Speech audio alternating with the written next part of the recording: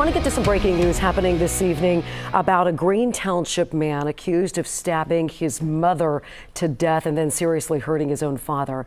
Kenneth Mortimer was indicted today in Hamilton County. Now, this all happened a little earlier this month. Prosecutors now say that Mortimer and his parents were fighting. Some sort of argument broke out when his parents said that they were then going to call police or maybe a mental health crisis line. They say Mortimer went to the kitchen to get what they called the biggest knife he could find and then came back to attack his mother and his father. He stabbed his father multiple times before then chasing his mother outside and stabbing her, police say repeatedly.